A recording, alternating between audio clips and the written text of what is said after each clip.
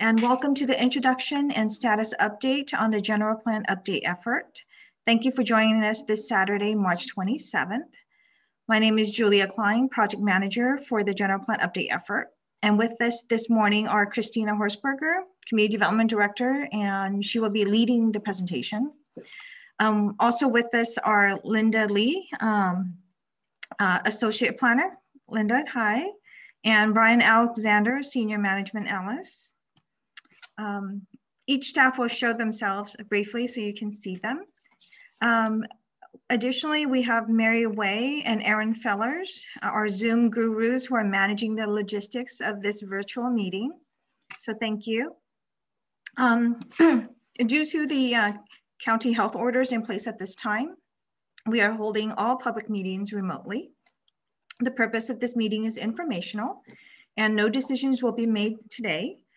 Following the presentation, there will be opportunity to ask questions about the general plan update and about general plans in general. We have a large number of registrants. Right now we have about 39 this morning and we will do our best to respond to all the questions. However, if we are not able to do so within the time that we have, we will you will be able to access a full list of the questions and our written responses on the project website at um, strivesanmateo.org. Um, the actual website will be shown on the presentation, so you can write that down as well. We will also be recording this meeting and we'll post it online in a few days. I'm going to do an attendee check. Uh, please note that all attendees will have their microphones muted and cameras turned off for this presentation. So please enter any questions that you may have in the question function, which is in the lower middle of your screen. Um, and with that, I'm going to hand it over to Christina. Thank you, Julia. Um, good morning, everyone, and thank you for joining us today on this Saturday morning. We appreciate you all taking your time um, to be here with us and to learn a little bit more about the general plan. My name is Christina Horrisberger, and I am the director with the Community Development Department with the City of San Mateo. The Community Development Department um, has a big task in the City of San Mateo. We do a lot of things, um, and our department is broken down into four divisions. Um, which handle more four main topics um, of responsibility in the city of San Mateo. So we have our building division, which oversees construction and building permits and the built environment, mainly on private property. We have our code enforcement division, which deals with property maintenance. We have our housing division, which administers our affordable housing and housing assistant programs, and our planning division, which um, does plays a huge role in um, how the community takes shape and in creating a vision and a plan with community input for the future of San Mateo and with processing permits and um, conducting other business that helps to um, bring those plans into fruition. And so um, with that, before I get started, um, I wanted to ask a quick question of everyone. We're wondering um, how many that are with us today. This is your first time um, learning about the general plan or joining us for a general plan event. So if this is your first time, can you check yes? And if not, can you check no? And then we'll share that information and, and we'll use it to um, sort of gauge the level of information that we provide moving forward.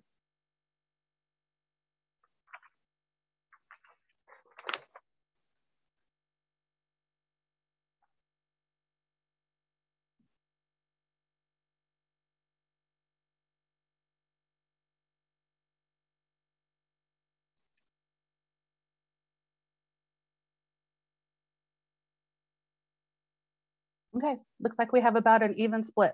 So I'll cut, try to keep the information pretty balanced um, so that we um, can try to speak to everyone. And with that, we'll go ahead and move forward. So today we're going to be talking about General Plan 2040. Um, we're going to start off with introduction to general plans and what general plans are. Um, from there, we'll go on and give you some information about what's been done for the general plan status update for general plan 2040. We've been working on it since 2018 and we'll share some information about what's been done to, to date. We'll let you know how you can participate and what participation means um, for the general plan update. And then we'll talk a little bit more about next steps. So to get started, what is the general plan? The general plan is an overarching document. Um, every city and every county in California has one and is required to have one. General plans um, are basically um, documents that are comprised of chapters, just like a book or a manual or um, any other kind of written document. Um, they're intended to provide guidance for how the city will grow and develop over time, generally a 20 year time span. They're comprised of elements, um, which most people would think of as chapters in a book. Each of the elements covers a certain topic. So we have eight elements um, in our general plan. They're land use, circulation, urban design, parks and rec, housing, conservation and open space, safety, and noise. And so the topics and the discussions and the contents um, of those elements provide the vision for the city of San Mateo, how it will grow and develop over time. And that is reflective of community input um, that was conducted uh, or was obtained through um, conducting outreach when the last general plan was done. And so we've started doing that again for this general plan 2040. Um, and we have a vision for you that we'll share in a few minutes that was um, created through community outreach. So once we have a general plan in place, uh, again, that's an overarching, very general document. It provides um, guidance for each of the topic matters in each of the elements. It's general, it has goals, it has broad policies, it has um, high level actions, and it really has um, a lot of broad information for how the city um, should, should progress over time. The way that we implement that vision and the way that we um, see those plans come into fruition um, on the ground is that we create other documents and other policies and codes and things that we use to implement that vision. So in some areas of town, we may have special considerations like the downtown. And so we have tools um, like specific plans where you can build off of the general plan to hone into a, um, a smaller level of focus and you can more customize um, the vision and the requirements and the policies and goals for a specific area. We have other tools also. Um, we have policies and we have um, master plans and other kinds of plans. We have design guidelines that we use um, that may vary from place to place. But very importantly, we have our zoning code. And what our zoning code does is it provides the specifics for how we implement the general plan and to an extent also our specific plans over time. So whereas a general plan may say something like in this part of town, we want to see low density residential. What that means is a low number of residences per um, a given unit of space, generally an acre. And so the general plan would say something general like that. And the zoning code would say something like, in this neighborhood, you can have one single family house per lot, or you can have a duplex, or um, you can have a single family house or a duplex, and it needs to be this tall and you can cover this much of the property. Um, and so it does get much more specific, um, lays down things like parking requirements and specific uses that can occur um, within a particular district. And so we go from general down to narrow and we focus as we move. And right now um, we're doing the general stuff. And as we finish that up, we will work toward um, amending our specific plans and our zoning codes to reflect what's in the general plan and so that we can implement it on the ground. So at this point, we want to bring you to date with what's been done so far. The general plan was started, or the general plan update for general plan 2040 was started in fall, winter 2018. We started by doing um, quite a bit of outreach um, and we got quite a bit of work done before we entered into the pandemic last year. So um, what we did do is we were able um, in summer and spring or spring and summer of 2019 to identify study areas within the city. Those study areas represent 10 distinct areas um, that were identified to be ripe for change of some sort. They're the areas that are concentrated toward um, main roadways and transit or areas that are known um, to need some sort of re-examining. Um, and so sort of the low-hanging fruit in San Mateo, the areas where um, we will first focus um, looking at what kind of change may be appropriate. Um, after that, we looked at um, creating draft alternatives, so different scenarios that may occur, different land use scenarios that may occur within those study areas. So the alternatives look at things like um, population growth and job growth and number of housing units. And then I think uh, for 2018 in the kickoff, I, I, didn't mention, but I mentioned in our last slide, uh, we also uh, worked with the community to create a vision for the general plan. And that actually is the basis for the things that come later. And all of the information to date is posted online. So anyone um, who hasn't been following what's been going on so far, you can visit our website at strivesanmateo.org uh, and you can look at um, everything we've done to date, including all of the meeting materials, and you can watch videos. So that brings us to our vision statement. So this is one of the first things that was created um, through community outreach and through a lot of discussion. Um, the values that are to be reflected in the general plan were created. So those values are diversity, balance, inclusivity, prosperity, and resiliency. And the vision statement was crafted to reflect that. So the vision statement says San Mateo is a vibrant, livable, diverse, and healthy community that respects the quality of its neighborhood, fosters a flourishing economy, is committed to equity, and is a leader in environmental sustainability. So that's what we keep in mind as we move forward and as we continue to hear um, from community members. Um, we try to build off of this vision. And this brings us to the next step of what's been done so far. Um, I mentioned that we created um, with community input the study areas, um, the areas that we thought were the most ripe to start studying.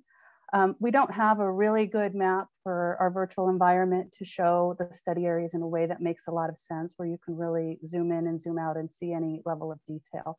So what we've done here is provided um, a map of all land or land use alternatives. These land use alternatives, right now, the scenarios are concentrated within the study areas.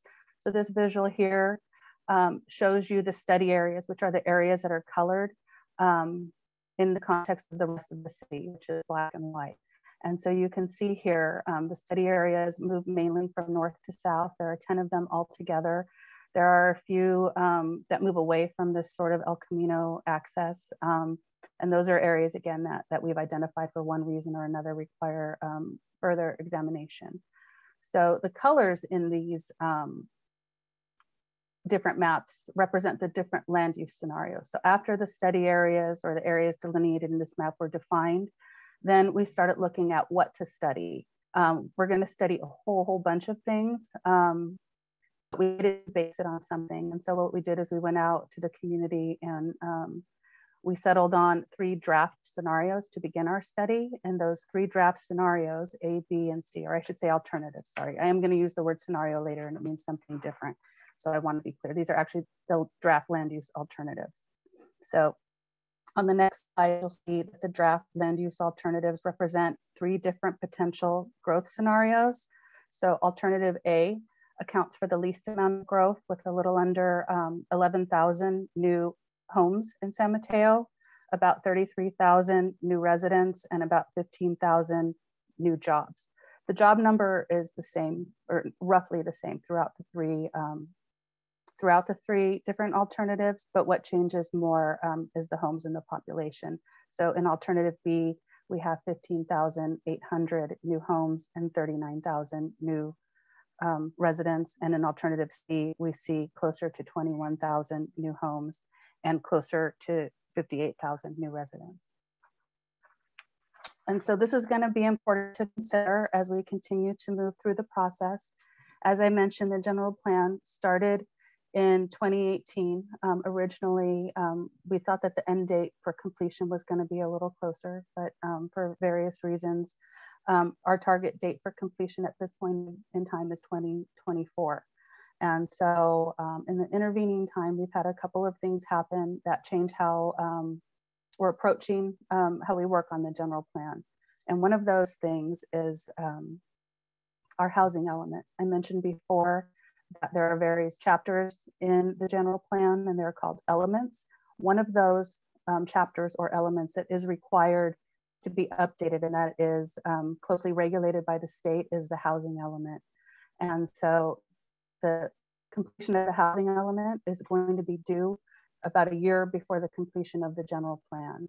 And so that's something that we're looking really closely at and how we integrate that into our general plan with the housing element comes a regional housing needs allocation. And what that is, it's a number that is handed down to the city and it says you need to create a pathway for X and number of residential units or houses. A unit is just another another word for a house or an apartment or a condo or a house. Um, have to be accommodated within your city. So it doesn't say the city has to build them and the city is not the one who's going to build them, but we need to have policies in place that allow for that many units to be able to be built. And so we're looking at that really closely with the general plan um, because we need to consider, uh, consider it in the context of um, the alternatives that are in place. And also we have um, the ballot measure, Measure Y, which went through, which puts um, different considerations in place that we need to look at when we look at those scenarios and how that plays out. And so right now uh, we have our housing allocation number and we're studying that, um, crunching a lot of numbers. We're looking at properties individually and we're trying to see how that's gonna fit into the general plan.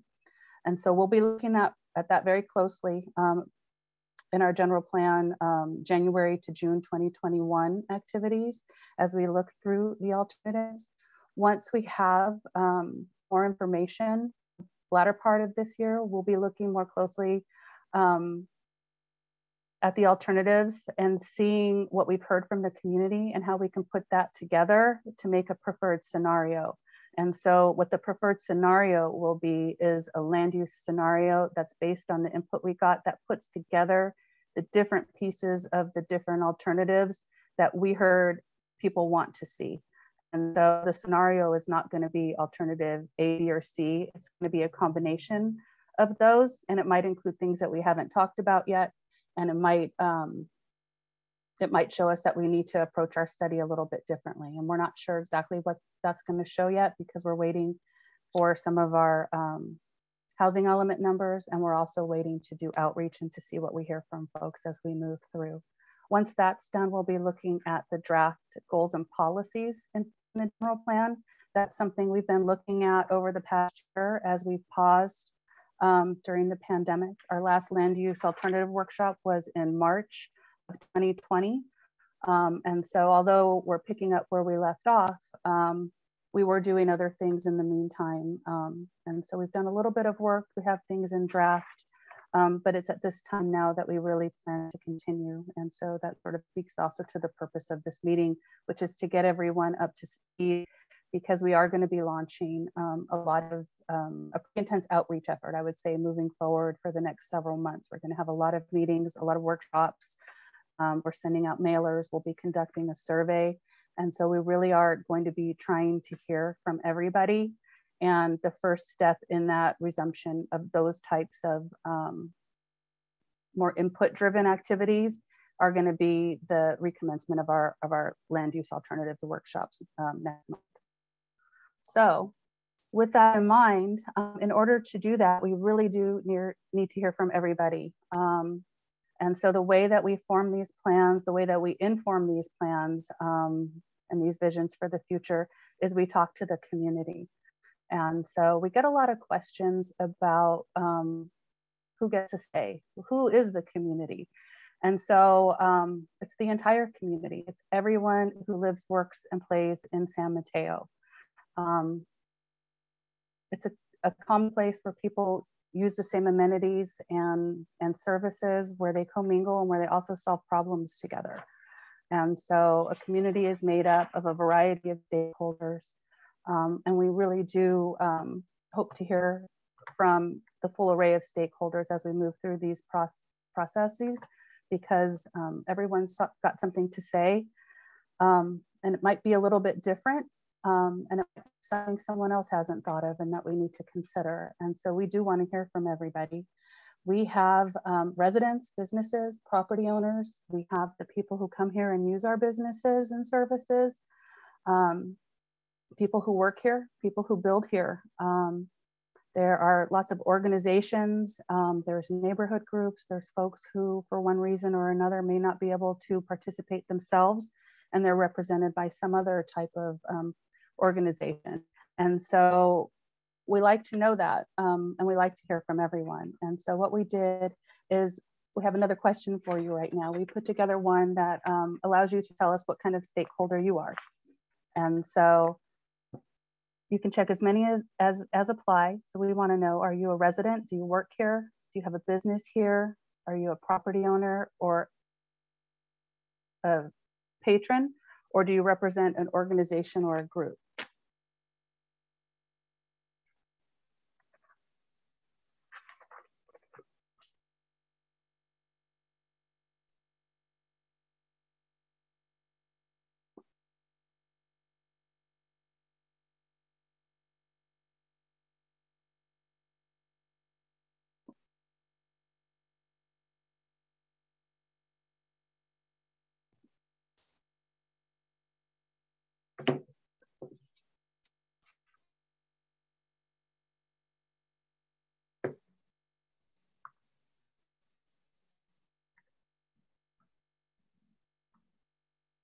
Okay. Wow, 99 or 91% residents. So we have a lot of residents here today. Um, it's a little, uh, we still had mainly residents at our last workshop on Wednesday, but a little, little bit higher today. 68% um, are property owners, 40% work here, 25% own a business or use local businesses, and then 32% represent another group or organization. So an interesting interesting makeup, um, but a lot of residents, so um, a lot of people with um, a really strong stake in the community. So again, we want to hear from all of you, and we're going to be trying to do that in a variety of ways. Um, we've tried to do that in a variety of ways to date as well, um, and we'll continue that as we move forward. So in the past, um, we've had a series of community workshops um, a series of public meetings, including those um, with City Council, the Planning Commission, and our General Plan Subcommittee. We've hosted a variety of pop-up events, such as the evening events on B Street last year. We did pop-ups at Fieldworks, um, at King Center, and um, a variety of other places. We've conducted surveys. We have a website with online exercises. We've received a ton of uh, written correspondence um, from a variety of um, of people who have an interest in the general plan. We've gone to uh, youth and government, to Spanish speaking communities, to the school districts, um, and different um, types of organizations in the city. We've enlisted the Peninsula Conflict Resolution Center, um, PCRC for short, which um, provides facilitation and outreach services. And they've been helping us a lot to reach um, our underrepresented communities.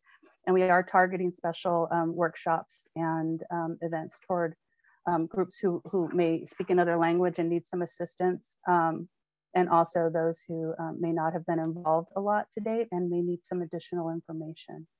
And so that brings us to where we are moving forward. We have some um, different events planned coming up um, in the near future. We have two housing element um, introductory, oh, I'm sorry. Yes, we have two we have two housing element introductory workshops coming up. Um, and so you'll be seeing those as we as we move through. Um, sorry, I had a little mix up in my slide. Let's go back to the participation part. So we heard a lot from a lot of people to date.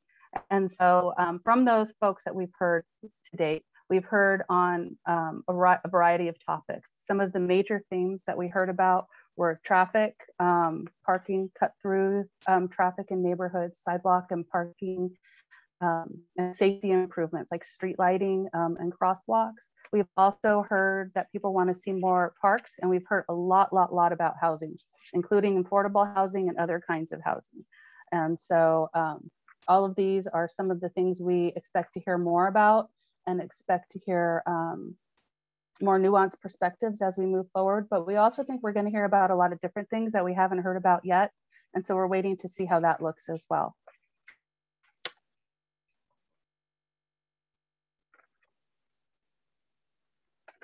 Okay, there we go.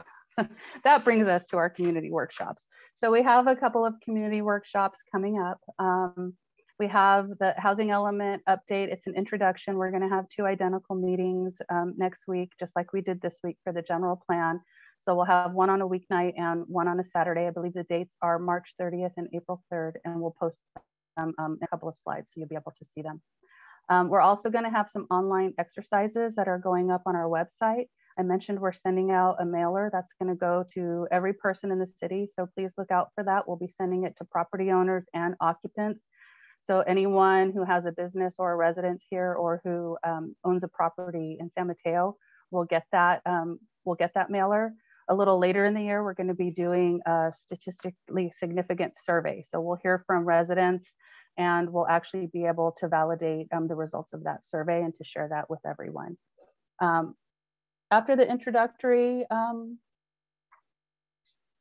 sessions, we are going to be um, digging into more of the workshop and input driven sessions again. So I, I want to again just remind everyone to look out for those and to tell your friends, tell anyone you know that you see who has an interest in San Mateo, who lives here, um, who spends time and has an interest in the way that, that San Mateo develops.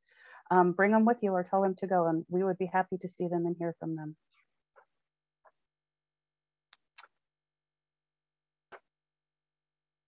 So here we have just an example of our flyer. You may see this floating around as you go about your business as well. We are passing out a bunch of flyers. We're trying to get everyone um, involved and at least aware. Um, so we have um, English and Spanish language flyers going around. So if you see those, um, that's what it is. Um, it's inviting you to um, our future events and we hope to see you there. And so following the, the introductory well, following this introductory sort of recap session and then the housing element one, as I mentioned, we'll start moving forward with the workshops. So the future step for that, immediate future step um, is to get that land use scenario ironed out through these next several months um, so that we can conduct our technical evaluation. And so I wanna just make sure that I point out really, really clearly that at this point we're information gathering. We have a lot of analysis to do after we hear from everybody and um, we're not going to make any decisions. No one's um, finalizing anything until we get to that point where we've heard from everyone, where we've done a technical analysis and brought it back in draft forms and had a lot of discussions about everything. So some of the things that will go into the technical analysis will be things like um, the amount of development we're going to see, what is the character of the different neighborhoods going to look like. We're going to look at the traffic impacts of the preferred land use scenario. So depending on what amount of growth, what does that mean for the city? Um, is it going to displace residents? Are we going to see more residents? Um, what's it going to do to our infrastructure? What's it going to do to the services that we use to support the city and the things that we provide here? Does it have impacts on the fiscal health of the city? And so there's a lot of different things that we're going to look at. And the outcome of all of that is going to be contained in all of the elements of the general plan. And at the end of it all, um, we have complete comprehensive planning guidance document that sees us through through 2040 and so that's what we're working toward. And um, with that that will bring us to our last slide where we have the schedule for you i think in a way that's a little bit easier to read. So again we have our dates for our upcoming meetings um, march 30th and april 3rd for the housing element and then for the land use alternatives um, workshops april 15th and 17th I would also mention um, that we're going to be holding a general plan subcommittee meeting as well. We don't have that one planned yet, um, but the general plan subcommittee is um, city officials that were appointed into a subcommittee that looks specifically at, at general plan issues. And so um, we'll be announcing a date when we have that. We'll have it on our website. You can see down here at the bottom we have our email and our general plan, so you can reach us. Uh, our general plan website, www.strivesanmateo.org, contains a bunch of information. We're updating it all the time. We're posting more and more stuff, including interactive tools. We have an interactive map that's going to go there so you can zoom in and out in detail and look at the land use alternatives. Um, and that will help to prepare for the workshop so that you'll be ready um, to have an informed discussion when you get there, um, in addition to the tools that we'll have um, when you arrive. And so um, again, we're gonna be sending out a mailer and we encourage everyone to read that, share that if you have anyone um, who you wanna share it with and um, contact us if you need anything or have any questions. So with that, um, we will bring it to our question and answer. Um, we're doing a webinar. Um, it's difficult to manage conversation. So we will be having Linda Lee read the questions and I'll be responding to the best of my ability. Some may have to wait till a little later. just before we get started, um, we have two last questions for you, and this really goes back to the outreach component. We want to know how you learned about today's session um, so that we can focus our outreach moving forward. So we're wondering, did you hear from our email newsletters, through social media, through daily journal, print, or digital ads? Um, in-person outreach, a homeowners association, neighborhood community group, other group, or word of mouth.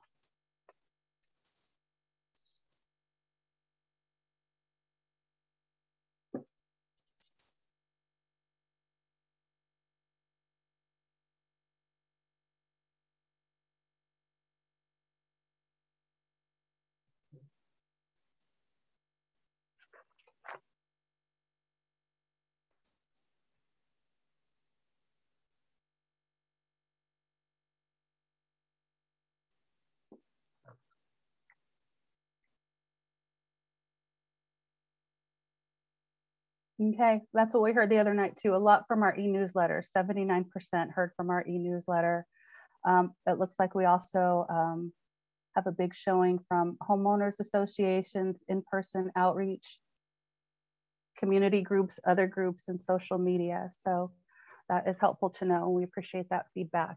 Um, we have one more question for you and that one involves how do we reach you best in the future? Have a feeling I'm going to see e-newsletters in there, e-newsletters, social media. So you have the same options here.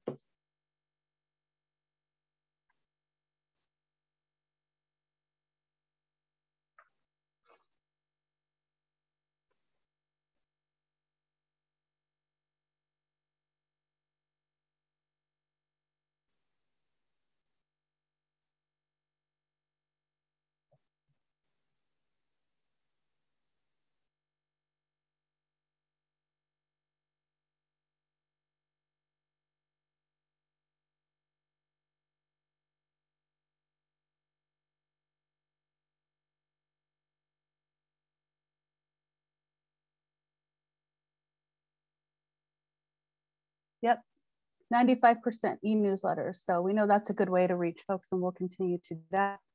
Um, and also explore other ways aside from the ways that are um, identified here. So social media, again, homeowners associations, um, community groups, about the same makeup. So we'll continue to do that and we'll look at other ways to do that as well. With that, I will go into our question and answer session. As Julia mentioned in the beginning, we will answer as many questions as we can. Um, there may be some that we can't answer for whatever reason. We may need to do more research. Um, we are going to post the answers, all of the questions and the questions themselves online um, from the last meeting and from this meeting. Um, everything should be posted within the next week or so. If there is anything that we do not get to, that we're unable to answer, or if we were to run out of time, we're still going to answer the questions and post it online. So you'll be able to see whatever we discussed and um, anything that we didn't get to complete our discussion on um, will be available on our website in the coming week. So with that, um, Linda, can you go ahead and get us started? Yeah, thanks, Christina, and thank you all for continuing to stay with us as we move into Q&A. Again, you may enter your questions into the Q&A function at the bottom of the screen. I will read the questions in the order they are received. So our first question. Uh, the speaker only mentioned in the zoning plan section of her talk about residential areas. What about business areas and the zoning required of those businesses, not just residences? So yeah, it, so the, the land use designations account for all kinds of, of land uses. That was just an example of how it would go from a general level to a specific level. So the same would be um, true of a commercial district. Um, you may see something like a general commercial designation, but then when you look at the zoning code, it would say something like C1 or C2 or C3 or service commercial. And it would go a little deeper and it would say what kinds of businesses could be there. And the same is true for the variety of land use of categories. You may see one that says public facilities and you may look um, at the map and it might have um, a variety of a specific type of public facilities that could be there and parameters that are associated with it. So um, that logic does carry through to all of the different um, types of land uses that exist in the city.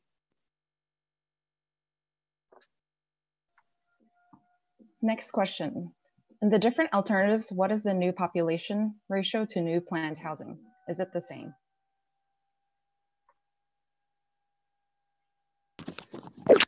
So I'm, not exactly sure that I that I understand the question. So what we're doing is we're looking at three different potential land use scenarios, and each of those potential land use scenarios does come um, with a projected um, number of housing units um, and with a projected yeah, with a projected number of housing units. And so if you look at housing or land use alternative um, B, A, B, and C, they each have a different number. And so for land use alternative A, the projection is 10,000 or 10,910 new houses with 33,050 new residents. And so for B, it's um, 15,800 and 39,200 respectively. And for C, it's 20,800 and 58,300. And so there is a proportionality to each of those land use scenarios. It's not a projection that we're making. There are different scenarios that we're exploring. If growth happens this way, then this is what we need to study and this is how we could accommodate it. And so that's something we're still working out and that we would consider um, in general um, as we move through and more specifically. Next question. Right now, the affordable housing units are behind in most of the cities on the peninsula. Is this being considered?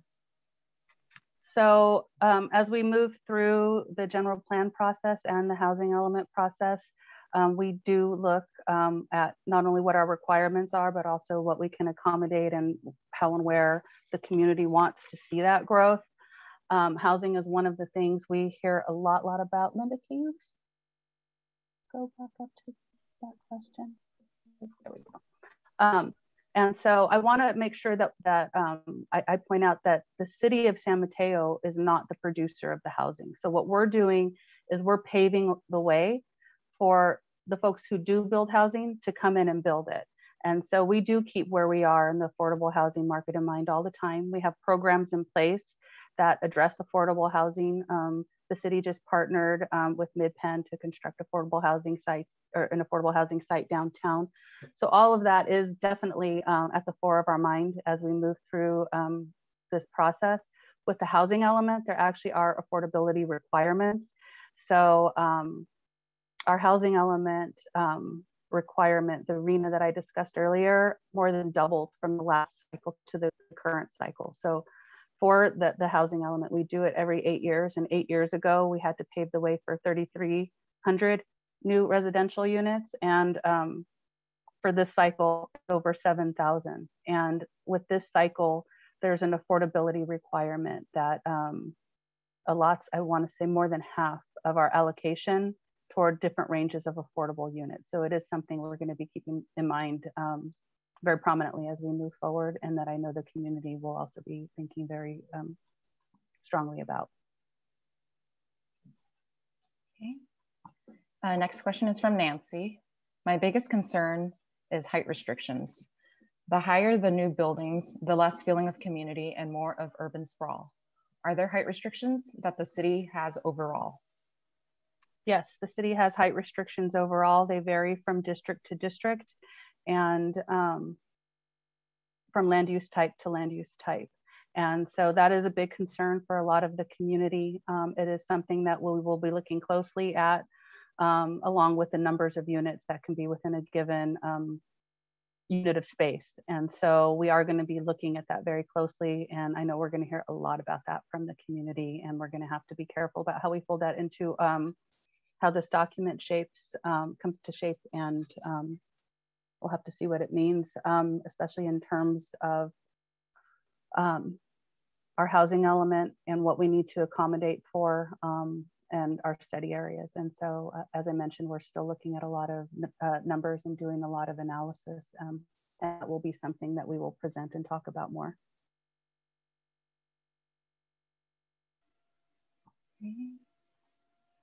So next question is from Ellis. This is regarding the latest RHNA numbers for the city of mm-hmm. San Mateo.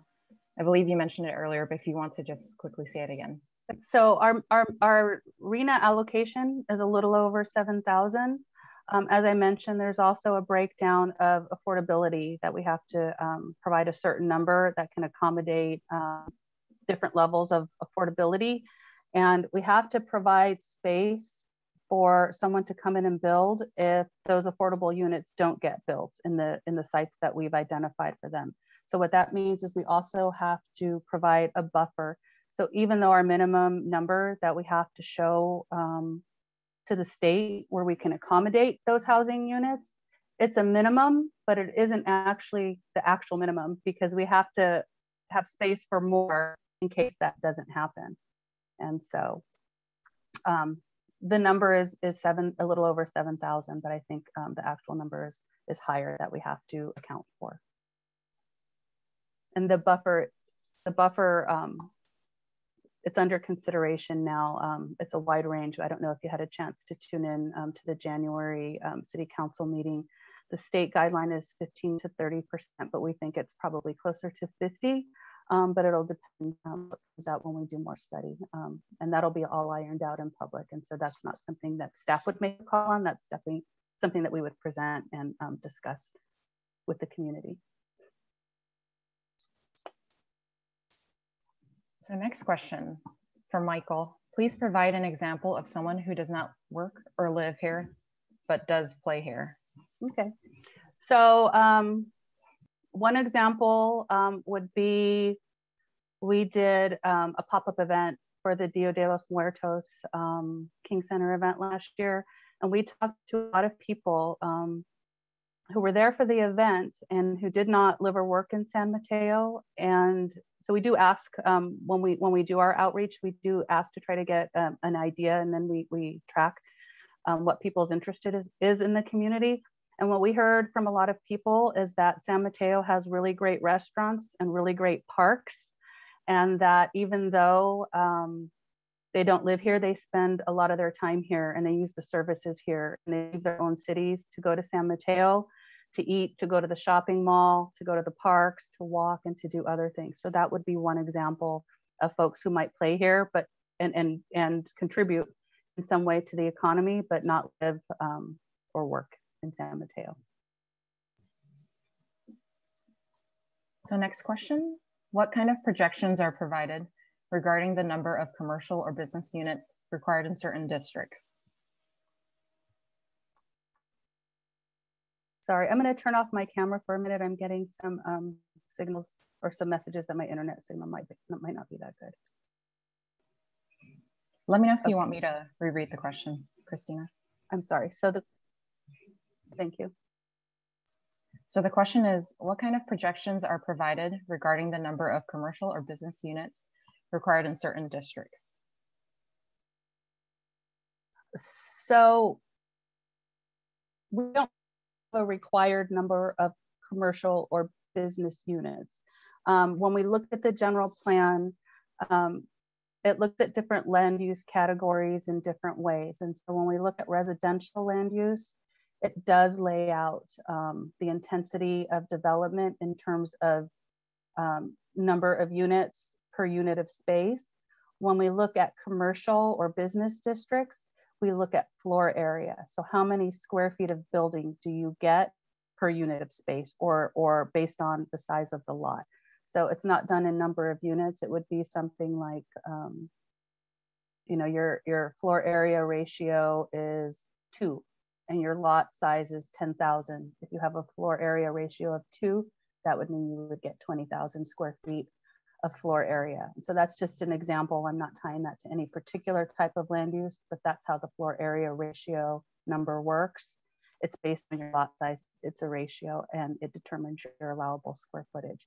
So that's how we figure out what can go there and how much can go there and what that's going to mean for the general plan update is going to depend on what we hear for, for the different districts.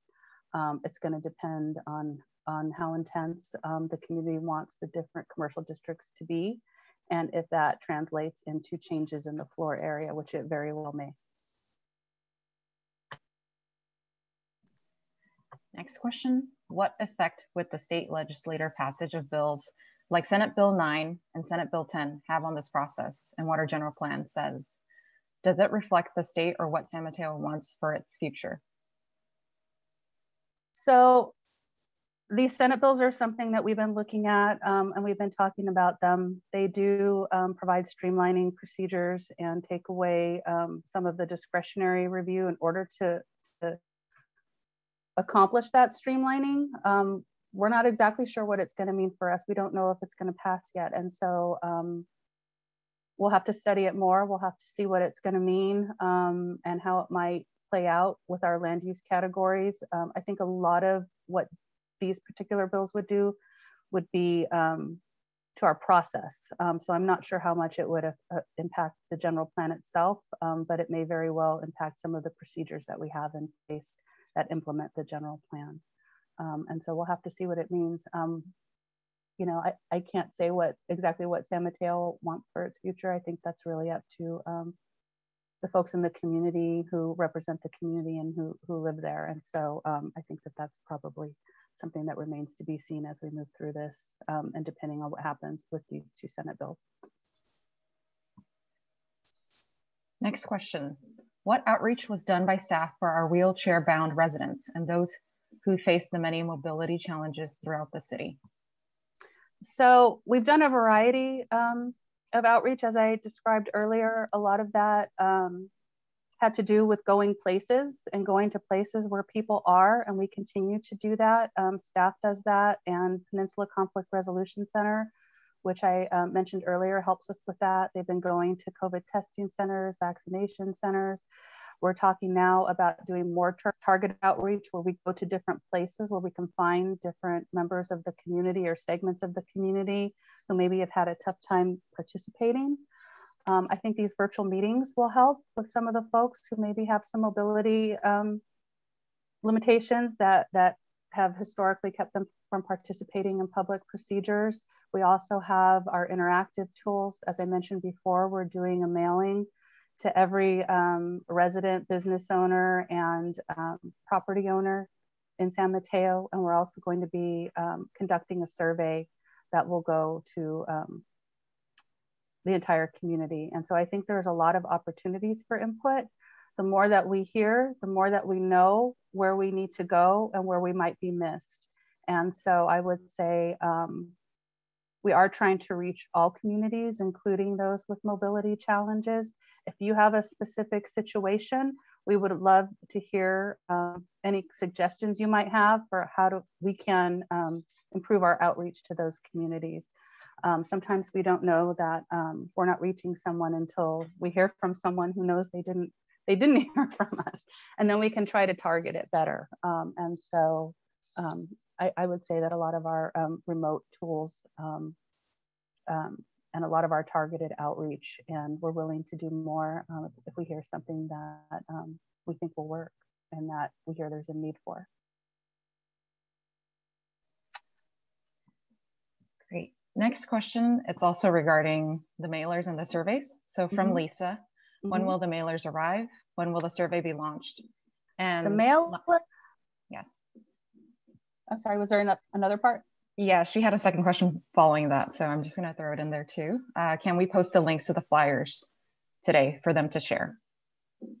Um, uh, this is Julia. Hi. Um, the mailers already went out, and so I think it depends on the USPS delivery um, different people have um, received them already and some have not, you know, but it should be coming through the US Postal Service. Um, the flyer information, you know, is really pointing to um, the website. Um, and so we can certainly give you the direct link to the website um, and post it here in, in uh, shortly. Oh, and one question was when will the surveys be launched? Part of Lisa's question.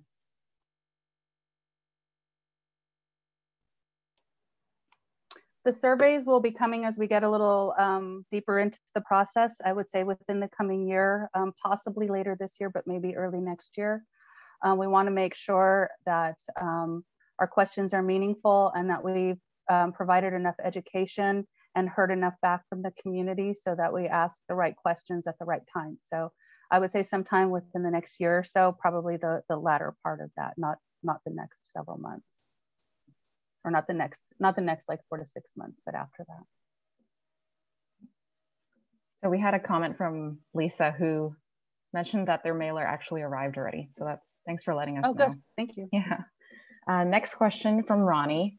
What value will our general plan have given the push at the state level to override our local process?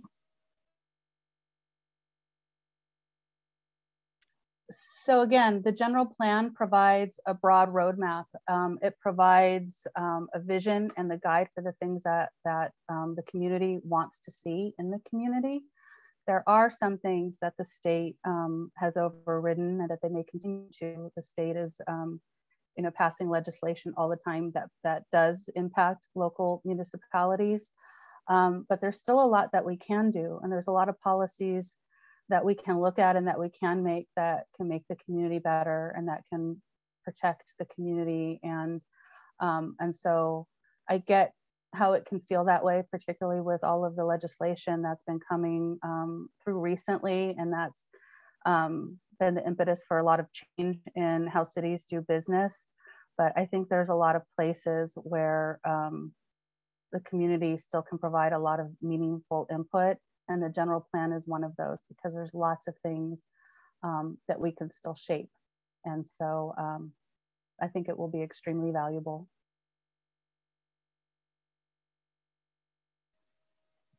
Next question. Staff should inquire uh, through a poll how many residents who rely on mobility devices such as wheelchairs are participating in today's and future general plan meeting.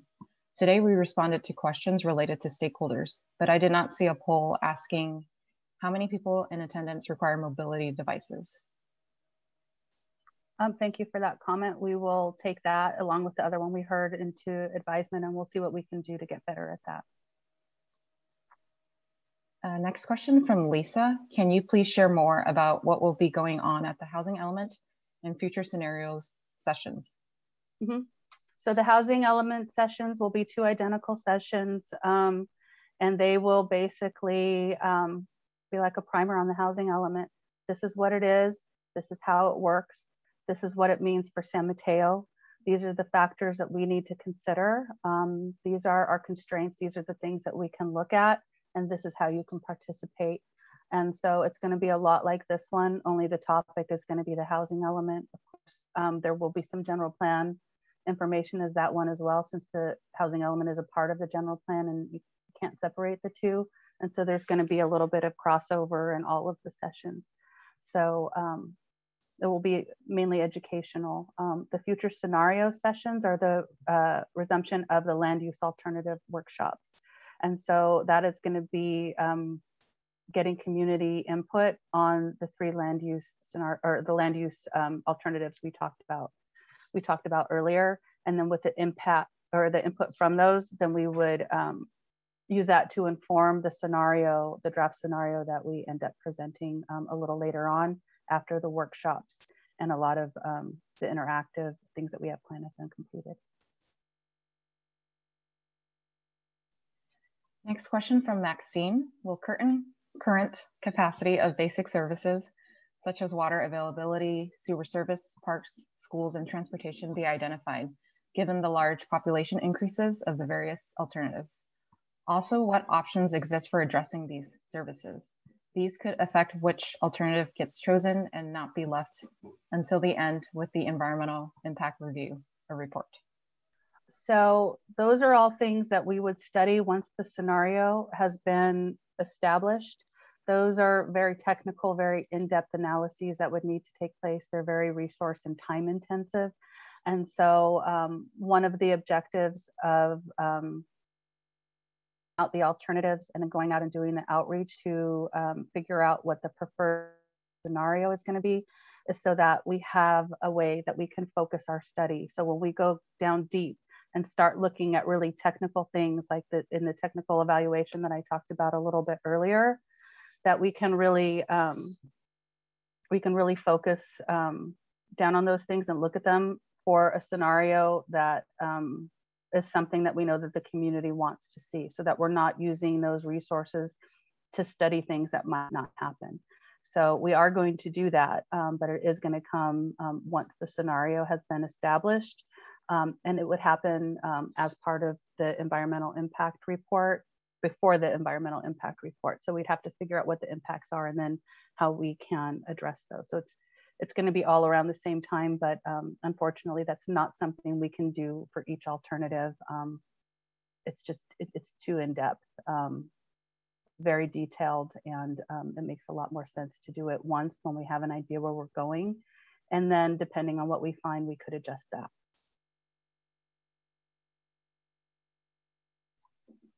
Next comment from Nancy. Traffic is huge issue too. Living in North Central, there is already a lot of incoming traffic off third coming through the neighborhood.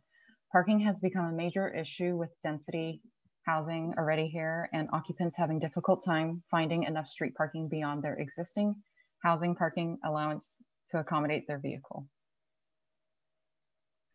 Thank you for that comment. Your comment is noted and we'll, we'll keep it in mind. We hear that a lot from a lot of different community members. And so we definitely are aware that that's something we need to consider.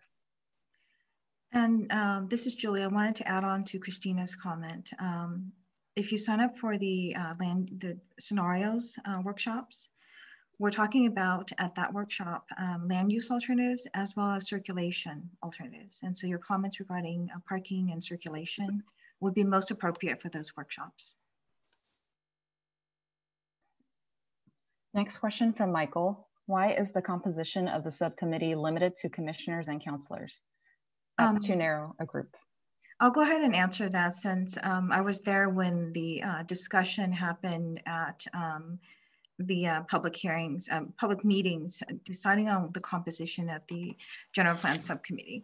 So what we were hearing um, prior to the general plan um, launch well, we were hearing from a lot of community members who participated in the downtown plan and, and early feedback from uh, different segments of our community. What we were hearing is basically that um, the traditional form of a citizens advisory committee is actually limiting.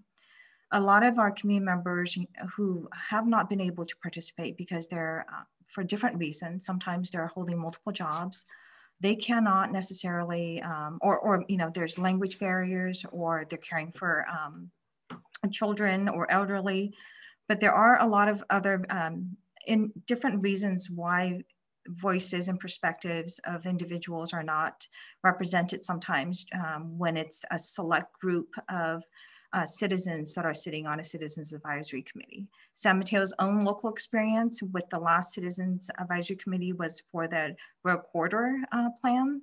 That was a three-year effort. So residents needed who participated in that were basically asked to commit to three years, about 30 some odd meetings. Um, and so a lot of that was discussed during the city council meeting when the idea was uh, discuss, you know, whether to include citizens, um, how many citizens to include, you know, what, what are the representations and how is that group of individuals going to appropriately represent all the different stakeholders in San Mateo, including those who have traditionally not been able to participate. And so during the public meeting where the council and you know, heard members of the public in different perspectives, there was a decision made not to do that and instead to focus in on elected and appointed um, council members and commissioners from Parks Commission, uh, the Sustainability and Infrastructure Commission, Planning Commission, and two representatives from the City Council. We also included um, a representative from the San Mateo Foster City uh, School Board. And the other part of it, so this goes hands in hand. We have the general plan subcommittee, but the other part that we're trying to do, and we're We've been um, listening to community input and adjusting the way that we do outreach. We're trying to reach as much as possible all the different voices, all the different stakeholders in San Mateo. Not everybody can make every single type of workshop or virtual meeting, but what we're trying to do is go to those who cannot come to, to these types of traditional meetings. And so we are fully welcome to uh, take any ideas that people have. Um, and for those that made the comment regarding mobility, I also want to mention that the city applied for a grant to begin a complete streets plan work. Um, the idea for that is to look at that whole entire uh, network of um, how people travel around, all the different modes. And if there's interest in that, if you could provide your contact information, uh, once we start on that process, we definitely want to reach out to you and make sure that we include that perspective in that effort.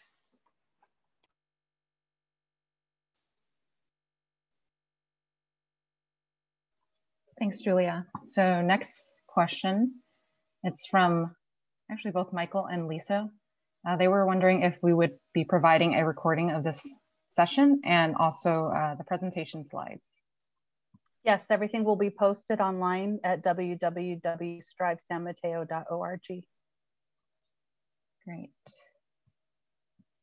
Next question from Joe. What is the city doing to streamline and improve the building permit process? I continue to hear that the permit process is very lengthy. That is something we are working on every day. Um, we're doing all kinds of things um, to try to make our process smoother and easier for people to use. We look at our codes and how we apply them and how we might be able to reapply them to make procedures easier and to make the um, submittal requirements less onerous while still having the level of review and detail that we need to have in order to make sure that buildings are constructed safely. We also are looking at our submittal procedures um, and at our guidance and handouts. So right now we're in the process of updating some of our handouts to provide more user-friendly information, more snapshots. So at a glance kind of flow charts and fees that you might have to expect as you move through the process.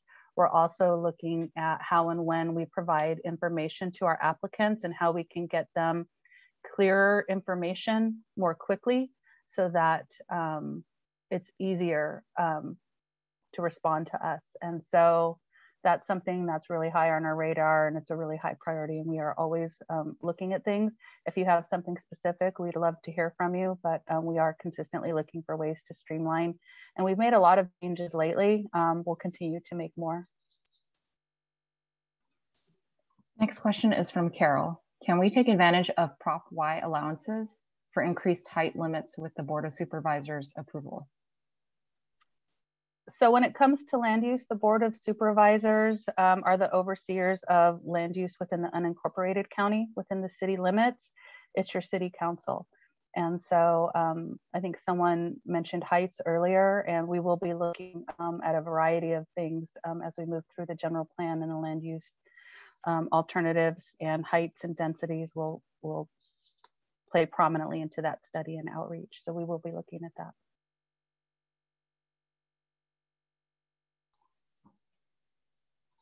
Next question from Lisa. You mentioned a statistically valid survey coming out in the future. Is that going out to San Mateo residents only, or will it also go to other slash all stakeholders? You know, that's a great question. Um, I need to look. We did one before, and I'm not sure if it went to um, residents or residents and property owners. I think we are looking at repeating the methodology. And so that's one of the ones I'll have to look at and see exactly who we included. Um, and we will make that information available. Next question from Joe. Given the past year of COVID, what is the city doing to try and help downtown merchants survive in this environment? So the city has actually done, um, made a lot of adjustments to adapt to, to COVID. Um, in the downtown, um, you may have noticed that there's a, a, lot of outdoor seating. There are a lot of parklets out there. Um, we have relaxed zoning standards on private properties outside of downtown so that folks can have outdoor seating there so that restaurants can continue to operate. Um, there's been a time when um, through different changes in tiers, different kinds of businesses have had various levels of operation allowances, and we've adjusted to that. We've done a lot of education um, to our downtown merchants, um, letting them know what things they can and can't do, and trying to be flexible and accommodate the things we can that they can. We're also looking um, at the vacant spaces downtown, and we're studying that right now to try to see if there's some things we can do in the near term before the general plan is completed. And we really look at our downtown specific plan. We're looking at, in the meantime, is there something that we can do um, to help businesses um, come in and stay in in the downtown units. And so we did have a study session recently with City Council. We'll be having another one um, I want to say in May or so. Maybe it, it, could be early June, but I'm thinking in May where we'll talk more about that. And so if you have an interest in that, you can let me know and we'll make sure you get on our notification list. Next question, also related to COVID. Uh, what considerations are being given to changing demographics, such as more work at home scenarios, which impact housing and traffic. Given these changing demographics um, occurring because of the pandemic, However, it is predicted that even when the pandemic is over, some of these changes will remain.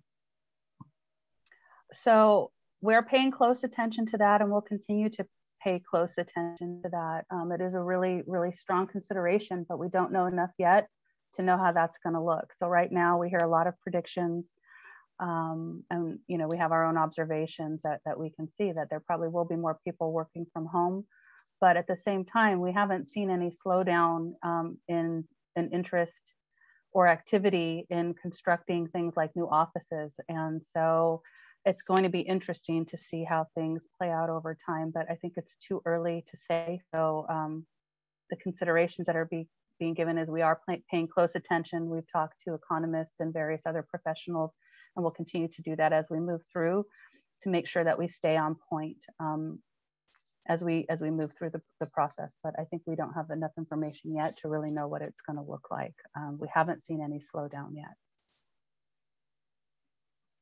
next question what is planned for adu and junior adus um, so i think that's probably related more to our um, recent zoning ordinance amendment maybe that's going through so for those of you um, who aren't familiar with ADUs and JADUs, an ADU is an accessory dwelling unit. Um, a lot of people think of them as a granny unit or an in-law unit, and it's basically um, a second residential unit that can go on a lot where there's already a house, and in some cases already a multifamily um, type of development. A junior ADU is um, a smaller version of that that's inside the walls of an existing house. So it doesn't have to be, um, it, it, it's not separate and it's not something that's newly constructed.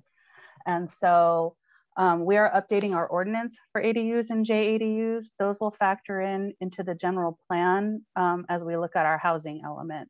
Um, a certain number of the ADUs and JADUs that are created will be used um, to count toward um, our regional housing needs allocation and how many we can count has yet to be determined. It's based on a formula that looks at the past of the city and predictions for the future. And we're, we're figuring out what exactly that means. And so um, in terms of how they affect the general plan, um, we'll see some amount of them will count toward the units we have to um, pave the way for for our RHNA, but we don't know how many of those units we can count yet. Next question from Carol. What are we doing to pass or to press RHNA to reevaluate housing numbers based on current circumstances? Uh, there are lots of for rent signs all over the city. They should at least put the demands on hold for a couple of years rather than impose unrealistic eight year mandates. Uh, we should hold temporarily to understand these ongoing changes. So at this point in time, we're moving forward um, with our housing element process. We haven't seen any back down from the state or any real flexibility from the state um, in terms of re-examining the numbers.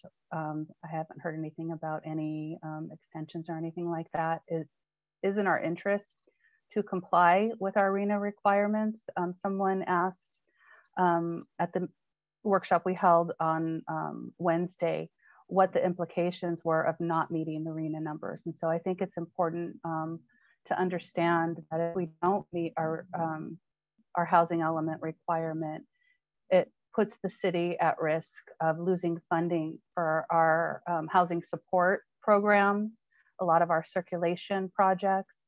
And so things that have to do with a variety of infrastructure and housing funding um, things that we work on at the city we would be ineligible for without a certified housing element.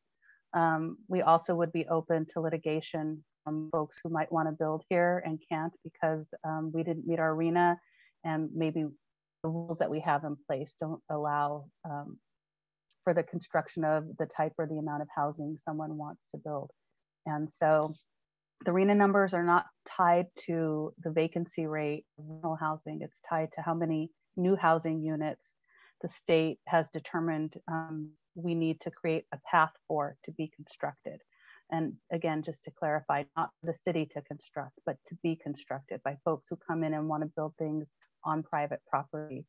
And so um, I'm not seeing that we have a ton of flexibility um, with those numbers at this point in time. And so our plan right now is to move forward and stay the course and comply with the state requirements because that's what we're legally obligated to and not doing so could put us at risk for other things. Next question. What is the city doing to try to match the demographics of comments and feedback in terms of owner, renter, race, gender, etc., with the demographics of the city to achieve the most representational or representative input? So if I may, um, this is Julia Klein again. Um, so we welcome input from everybody, regardless of the format, um, regardless of who they are. Um, what we've heard in terms of some of the comments that we received is that with the history of um, uh, segregation, there's a lot of history of how land use patterns has negatively impacted or more severely impacted certain areas in San Mateo versus others.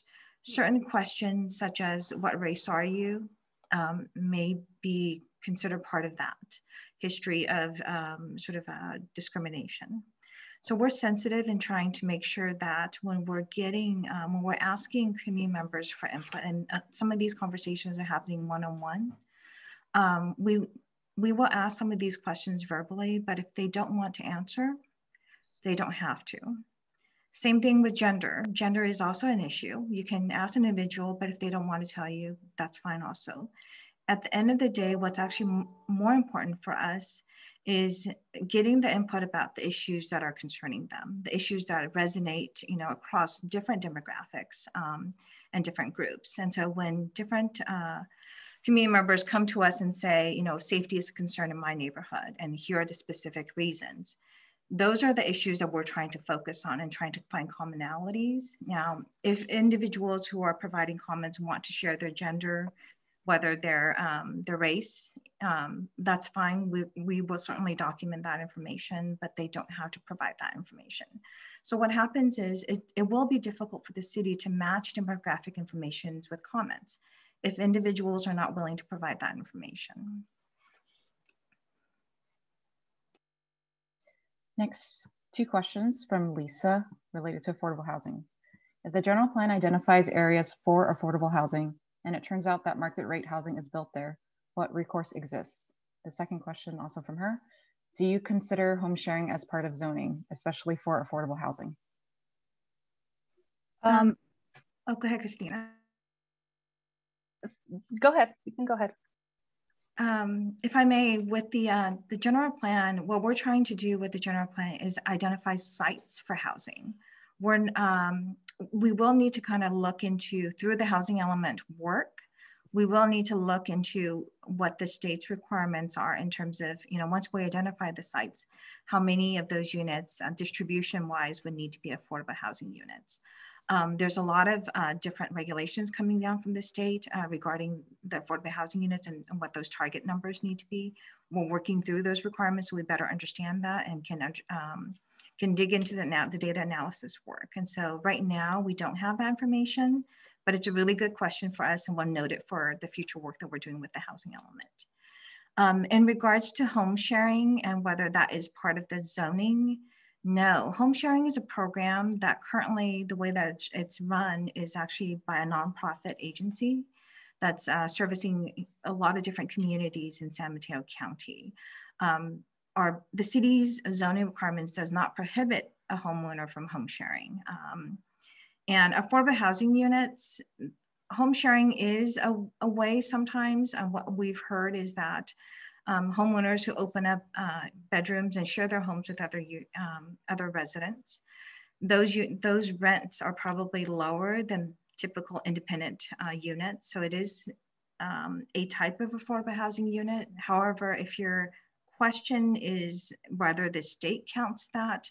We have not seen um, any information regarding home sharing as a way of counting and meet, meeting uh, affordable housing unit requirements.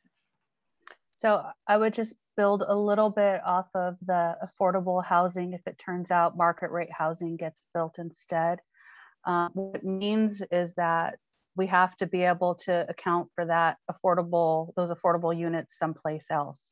So that speaks to the buffer that I mentioned earlier. And that's why that 7,000 RHNA number is a floor and not a ceiling for the amount that we need to pave the way for because we have to expect that not all of the sites that can accommodate affordable housing will, or that they will to the extent um, that they could. And we also don't always have a lot of control over what range of affordability those units are constructed at. And the way that the current RHNA is um, constructed, there not only is a certain um, number of affordable units that we have to pave the way for, but they also are broken down into levels of affordability, which makes it even more complex um, because we have to meet certain numbers for certain ranges, not just an overall number of affordability. And if a builder comes in and doesn't build um, anything more than what the minimum is that the city requires, um, then we do have to make sure we, ha we have another place to um, accommodate that. If we didn't, then we would have to um, then re-examine our housing element if we found ourselves in a place where we ran out of those spaces. And so it's something that we want to try to avoid um, from happening to begin with. Um, and I also would just touch really lightly on the um, home sharing thing. When we look at the RHNA and the affordable units, I think the thing to point out is that those are associated with actual units and not behavior of how those units are used. So you may have someone in a home now that's interested in home sharing. Someone else could live in that home five or 10 years from now, and it might, might not be the same. And so I think that's part of why um, those things aren't considered now. Um, moving forward, anything is possible. It's a really quickly changing landscape when it comes to housing. So I wouldn't be super surprised if we see something different in the future. Question from Joe. I recently read that the City Building Commission blocked the plan for an exterior elevator for Draper University, which may result in Draper moving out. Given the problem with many vacant business spaces in San Mateo, is this decision being reviewed? Um, so that's really a, a um, it, it's definitely a land use question, not so much related to the general plan. It is related to um, our development process though, which is an output of the general plan. So no decisions were made on the Draper University. They went through planning commission for a study session to get feedback on a design that they were proposing. And they were given feedback that um, their design needed some work um, in order to be able to move forward. And so um, that's something that there would be a path forward on if both sides were willing to look at an evolving design. Um, and so um, I would just point out again, that was a study session, not a decision. It was feedback on a design that was proposed. And um, should the applicant choose to move forward, um, they could.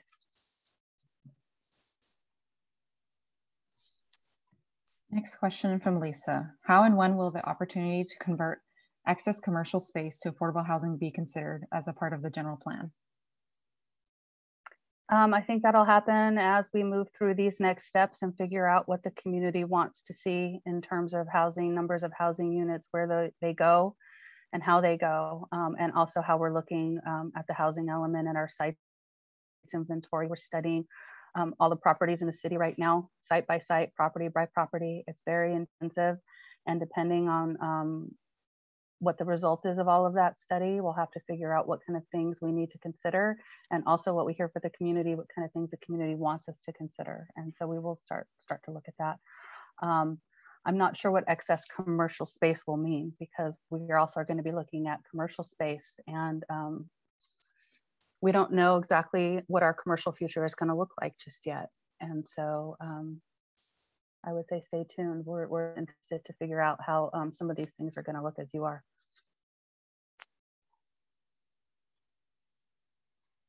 Next question from Ronnie. Uh, why are San Mateo's RHNA numbers so high? We have much higher numbers than South San Francisco, for example.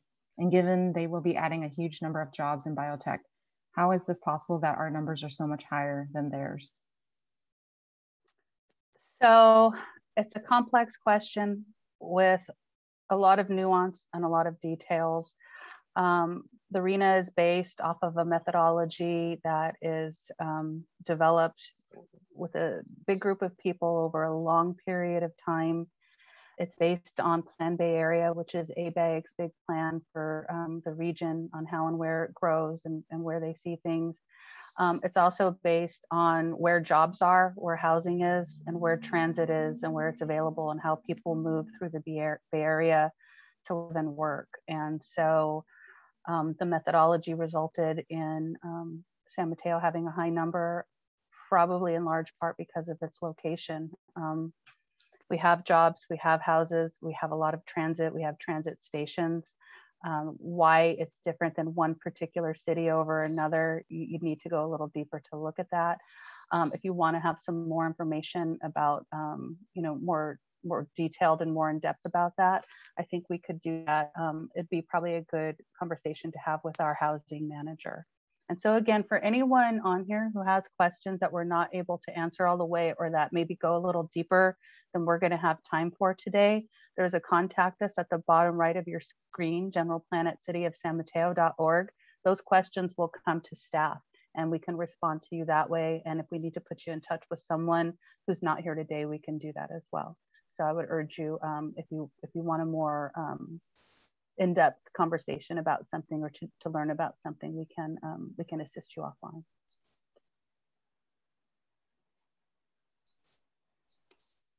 Next question, new housing should emphasize spaces for emergency workers, such as police, fire, hospital professionals, healthcare, and other emergency related people, so that if there is a disaster, we will be taken care of.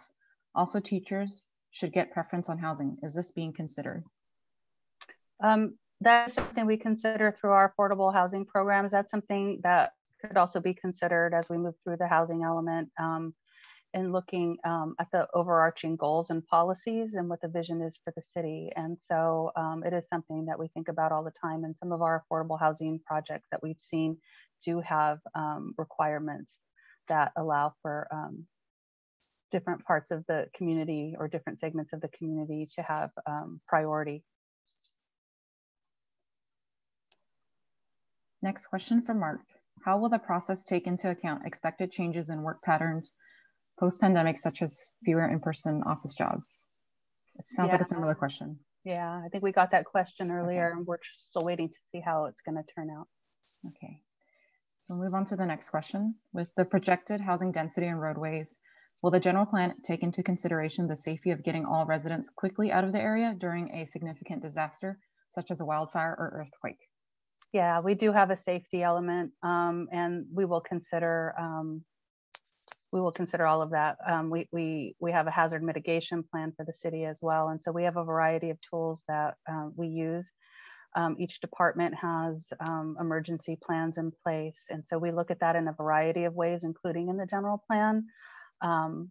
that is an important, very important element, well, as they all are. But but yes, the answer is yes. We will look at that. Next question from Ronnie. Are protections being built into the general plan for business, businesses and residents that are threatened with displacement and future development? Um, so nothing is built into the general plan just yet because we're still exploring and seeing what it's going to look like and how it's going to function and what the contents are going to be and how it reflects the community's goal. Um, if we refer back to one of our er earlier slides, displacement was one of the things for the technical evaluation that we would look at. So when we get to the place where we've looked at the alternatives and we have a scenario and we get into that technical level of detail, displacement is one of the things that will be considered. Next question from Lisa. Will you continue to be diligent to identify people at all general plan outreach events and all surveys? Um, to understand who they are, not personal identity, but similar to the questions we asked today. Um, it is important to understand the perspective from which a person asks a question or makes a comment. Yes, and so we've heard a lot about that, and um, we are we are adjusting our questions. I think I actually had saw a question earlier on one of our polling questions that may need just a little bit more adjusting. We're adjusting our stuff all the time to try to figure out who we're hearing from and to match up what we're hearing from who we're hearing it from so that when we present things to city council and to the general plan subcommittee and when we make all of this information available that it's really clear who we're hearing from and what we're hearing from who because we have heard that there's a lot of interest in that. And so we're trying to be really careful and transparent about our tracking um, and disclosure of the information that we're getting through our outreach events Next question from Seema. I know the city was studying whether it's possible to meet our RHNA allocation within the existing zoning and restrictions imposed by Measure Y. Has a determination been made yet? What are potential options if we can't meet both RHNA and Measure Y within our current zoning? And there's a comment following. Uh, they just wanted to note that many San Mateans, half based on Measure Y results, don't feel that increased height negatively impacts the feel of community. Sure. We realize that there's a lot of um, differing opinions on this matter. And um, to answer the question, that is something we're looking at right now. I mentioned we are going site by site, property by property, and looking at the potential to accommodate housing. Um, we're crunching the numbers now, and we should have some information on that in the next couple of weeks in terms of whether or not the study area could accommodate this next RHNA cycle. And if so, what does that mean um, for future RHNAs and what does it mean um, to the general plan. And so we're studying that. We have not made the determination yet. Um, once we have some more numbers, we'll be, be moving forward um, with city council status updates once we, we obtain meaningful information. Um, we're going to be doing city council status updates about every quarter anyway. Um, and so it could be that this next one lines up um, with us having um, more information from that site's inventory. And so we'll share it when we have it. We don't have it yet. Um, and we'll be uh, also just sharing information and status updates in general. I don't think I mentioned that earlier, but we, we do plan to go to City Council quarterly, even if there is nothing going on, just to make sure everyone has an idea of where we're at. So it's 1129. Do you want to try for one more question, Christina? Or sure. Two? Okay. Uh, we only got one, one minute, so let's see what let's see what happens. Okay, so the next question from M: Are you researching ways other progressive communities like Vancouver, Portland, and Cambridge use to increase housing that also protects the integrity integrity of the community and environment? We're always looking at other cities and other communities to see what we can learn from them. We get a lot of literature and publications and articles and you know a lot of the consultants that we use have their hands in a lot of different different communities as well. And so yeah that's a big part of planning. We're always always looking at and borrowing from each other and sharing information and trying to learn how we can do things better. And so we definitely do look at those progressive cities um, and see what kind of models they may be able to provide for us. Um, not just for this topic but for all kinds of things. It's it's what we do on a regular basis whenever we're making changes. We're always checking with um, neighbors and other communities. Uh, so it is 11.30 okay. and the last question did ask if this session could be extended to answer all questions. Um, but you had mentioned they could also write us, correct? So I'm sorry, unfortunately, we're not able to extend the session today. Um, I know that we do have a few more questions to go. Um, you can contact us directly if you want to have a conversation before, but we are going to post the responses to all of the answers online. So you'll see all of the questions from this meeting and from the last meeting. You'll see all of the responses to all of the questions from this meeting and last meeting, including the ones that, that we were unable to get to today. And so, um, wait, how many more do we have? We have about seven. Are they questions? Are they um, duplicative or are they all new?